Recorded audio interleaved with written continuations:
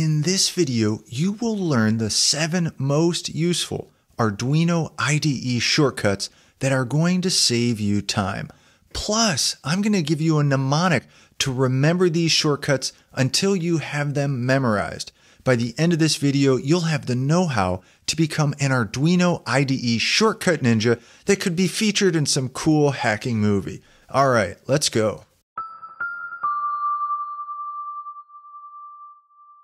All right, before we start, I would really appreciate if you could subscribe to the channel. It doesn't cost you anything, but it really helps us deliver great content. Okay, here we are in the Arduino IDE 2.0. I want you to know that these shortcuts are going to work for the original IDE and for Arduino IDE 2.0. Doesn't matter which one you use. All right, the first shortcut you're going to learn is for verify. So you should be verifying frequently. This little button right here, that is control R on a PC and Command R on a Mac. Quick side note, you see this output window in Arduino IDE 2.0? If you don't want to see it, down in the bottom right, you can click this and it'll get rid of it. All right, shortcut two, the upload button, when you need to upload stuff to your board. That is Control U on a PC and Command U on a Mac. Shortcut number three, you want to open up the serial monitor without using your mouse and going all the way over to the right to serial monitor or without going up to tools, serial monitor. Man, that takes forever. All you have to do is press shift control M and it'll open it right up if you're on a PC or shift command M if you're on a Mac. And what's nice is if you want to close it, you just do shift control M and it closes it or shift command M again on a Mac and it'll close it. All right, the fourth shortcut that I use all the time is auto format. So let's say you're working typing out a for loop and stuff just starts getting all over the place and you're like, "Man, this is a mess." And you don't want to have to like deal with the spaces yourself. You could go up to tools, auto format, but it's a whole lot easier to just press control T on a PC or command T on a Mac and it's going to auto format that code for you say auto format would probably be my favorite if it wasn't for the next keyboard shortcut, and that is for commenting code. So, how can you comment code? Highlight the code you want to comment, and then on a PC, you press Control forward slash, and it comments that code out. If you want to uncomment it, you just press Control forward slash, and it uncomments again. If you're on a Mac, it's the exact same thing except you're using Command forward slash. So this is probably my favorite, but it's a toss up between this and auto format. Okay, another super handy keyboard shortcut, this is actually two in one, is if you're focused on a piece of code and you're trying to figure out and you want to make the font bigger. Well, what you could do is go up to, you know, the preferences, and then you could just adjust this font size to make the font size bigger, right? Like that, and it makes it a little bit bigger.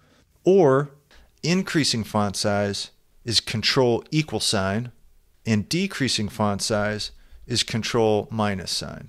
Me, I love really large font sizes. I don't know, it makes it easier on my eyes, I guess, but I know some folks, they go with crazy small font size, whatever. I'm just saying it's nice to have the flexibility to shift it around if you want to. All right, here is the last one coming in hot at you, and that is find next.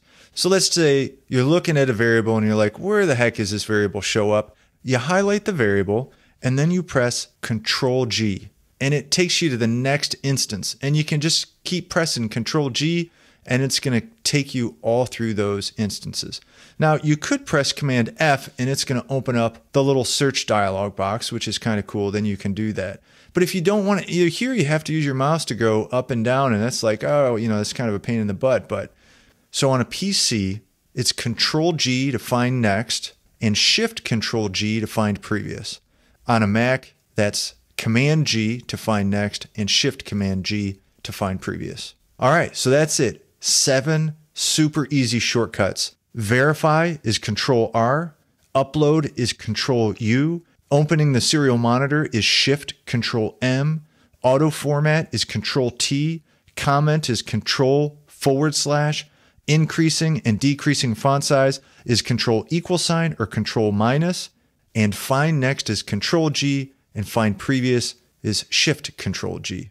All right, before you go, I got a mnemonic that I think should help you remember all these when you open up the Arduino IDE. Here goes. Victor runs up under Smurfs smitten after total chaos forward slashing identified enemies for no person goes shift G.